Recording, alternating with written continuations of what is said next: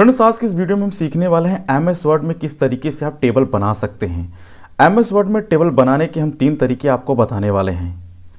पहला तरीका है एम एस वर्ड में टेबल बनाने के लिए सबसे पहले आपको टेबल वाले ऑप्शन पर क्लिक कर देना है और यहाँ पर आपको जिस तरीके से टेबल जितने भी रो और कॉलम चाहिए, वो आप यहाँ लेकर अपने टेबल को क्रिएट कर सकते हैं इस तरीके से। ये हो गया पहला तरीका, आप इस तरीके से आप टेबल को बना सकते हैं। दूसरे तरीके से अगर आप टेबल बनाना चाहते हैं तो इसको सबसे पहले आप डिलीट कर लेंगे। डिलीट करने के लिए सबसे पहले आप चाहेंगे लेआउट वाले ऑप्शन पर, और यहाँ पर आपको एक ऑप्शन मिलता है डिलीट, यहाँ पर क्लिक करेंगे, और डिलीट टेबल पर आप क्लिक कर देंगे, और आपका टेबल डिलीट हो जाएगा। दूसरी तरीके से टेबल बनाने के लिए आपको सबसे पहले इंसर्ट टैब पर क्लिक करना है, टेबल पर आना है और नीचे एक ऑप्शन आपको मिलता है इंसर्ट टेबल पर। इस पर आपको क्लिक कर देना है। आपको अपने टेबल के लिए जितने भी रो और कॉलम चाहिए, यहाँ पर आपको टाइप कर देना है। जैसे हमें अपने टेबल को बनाने के लिए 10 कॉलम और 5 रो की ज़रूरत है तो हम यहाँ पर टाइप कर लेते हैं।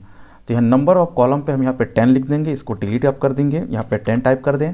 नंबर्स ऑफ़ रो पे आप क्लिक करके इसको डिलीट कर देंगे और यहाँ पे टाइप कर देंगे फाइव इसके बाद आप ओके कर देंगे। तो इस तरीके से आप टेबल बना सकते हैं एम एस वर्ड में। और दूसरा तरीका है टेबल बनाने का, इसको चलिए देख लेते हैं। इसके बारे में जानने के लिए सबसे पहले हम इसको डिलीट कर देते हैं। डिलीट करने के लिए लेआउट में आ जाएँगे और यहाँ पे डिलीट वाले ऑप्शन पे जाके डिलीट टेबल पर क्लिक कर देंगे। दूसरे तरीके से टेबल बनाने के लिए सबसे पहले यहाँ पर आपको प्लस का साइन लगा देना है। उसके बाद आपको माइनस का साइन इस तरीके से लगा देना है। उसके बाद सेकेंड नंबर पर भी आपको प्लस लगा देना है। फिर उसके बाद आपको इस तरीके से माइनस का स्पेस दबा देना है।